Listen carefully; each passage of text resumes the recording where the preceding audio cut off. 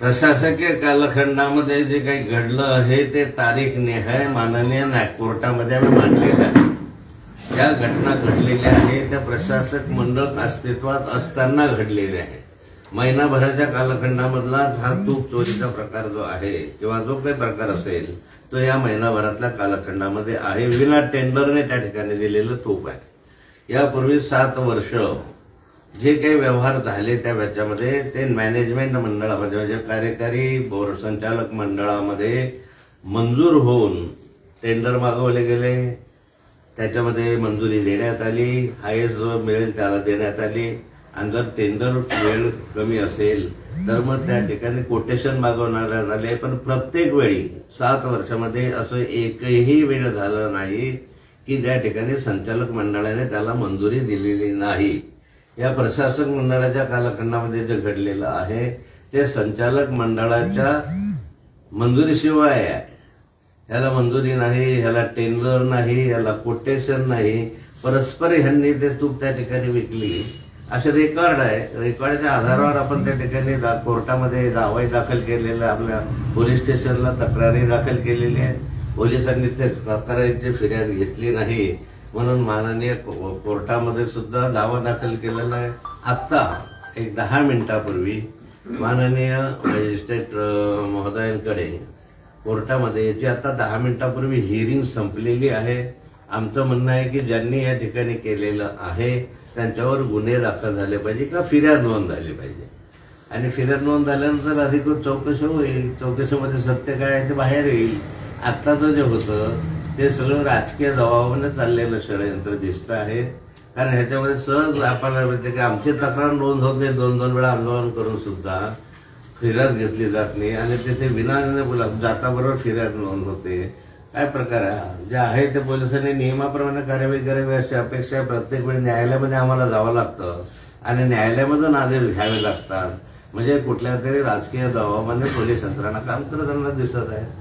कारण आम्ही ज्यावेळेस मतदारांकडे बोललो तर बहुतांशी मतदारांनी जी अपेक्षा व्यक्त केली माझ्याकडे की दादा मग तुम्ही आता आरोपाला उत्तर देत नका जाऊ. बऱ्याचशा जणांनी सांगितलं.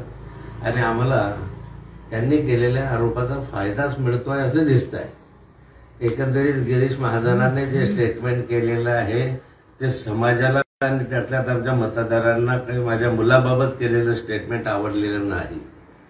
काल आदरणीय सन्माननीय जे नेते आहेत आमचे तिकडच्या पॅनलचे मंगेश चव्हाण साहेब त्यांनी जो आरोप केला की नाथाभाऊला जेलमध्ये पाठवू वगैरे वगैरे ही चांगली गोष्ट आहे की त्यांनी असे आरोप केल्यामुळे मतदारांची सहानुभूती आमच्या बरोबर आहे.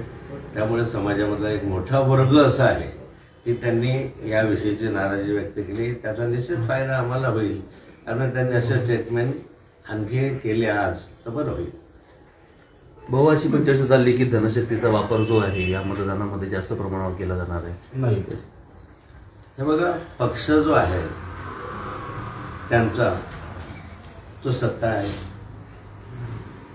मत्ता आहे खोके आहे आता नुकतेच खोके आलेले आहे त्यामुळे काही खोक्यातल्या पेट्या काढल्या तर काही फार वेगळ्या असं चित्र नाही आहे त्यामुळे आता सत्य जे आहे सत्तेचा वापर होऊन राहिलेला आहे तुम्ही दिसता त्यामुळे सत्तेच्या माध्यमातून धनाचाही वापर होईल पैशाचाही वापर होईल नंबाचाही वापर होईल होऊन राहिलेला आहे त्याच्यामध्ये. आता तुम्ही पाहताय आमच्या एकही मतदारांना बाहेर केलेला नाही. त्यांच्याकडे लागले आता हे स्वाभाविक आहे मोठे माणसं असल्यामुळे त्यांच्याकडे व्यवस्था चांगली आहे. आम्ही काही सत्तेत नसल्यामुळे जे परिवारांना त्यांना भेटलाय ते मतदारांना एकाले भेटले नाही घरी जाऊन.